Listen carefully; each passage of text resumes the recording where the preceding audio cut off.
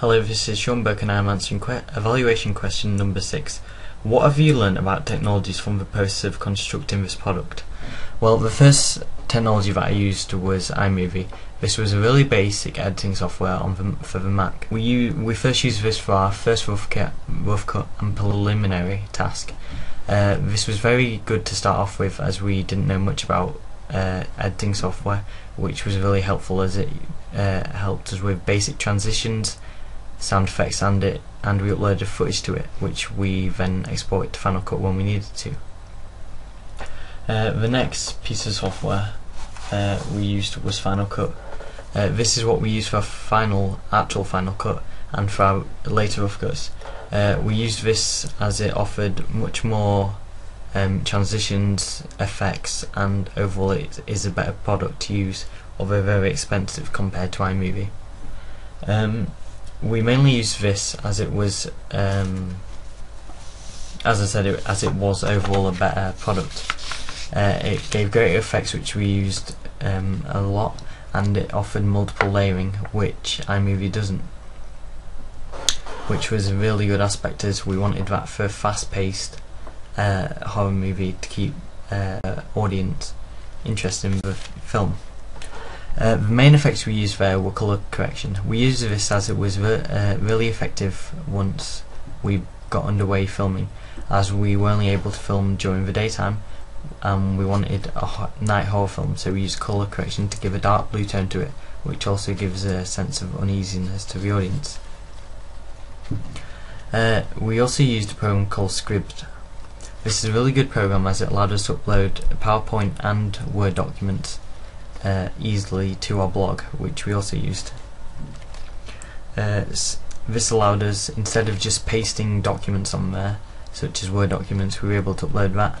And uh, you can't put PowerPoint files straight onto Blogger, so you have to use um, an embed code to put it on there, which is really effective. Although we didn't use Scribd much, it was really effective while we used it. Another product like that was DivShare, which we used to upload our podcast to and then paste an embed code onto our blog. This was really effective as DivShare allowed us to upload when we wanted and it was a really quick upload.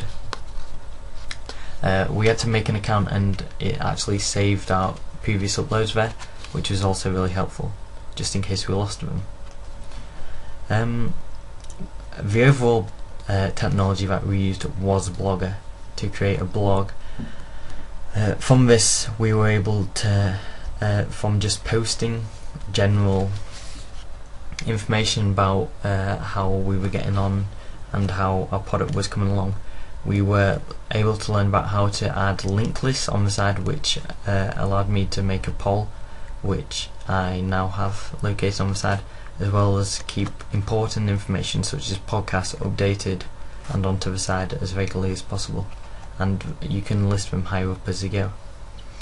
Um, I also use this effectively to put The Guardian's top five of a week horror films on there, which uh, gives which uh, redirects you to the Guardian website and gives you a view of the horror films once you click onto it.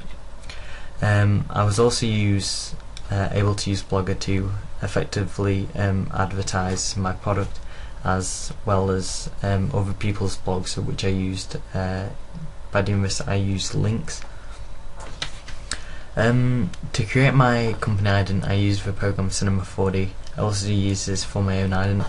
Uh, Cinema 4D is made by Maxon and it is used as a 3D animator.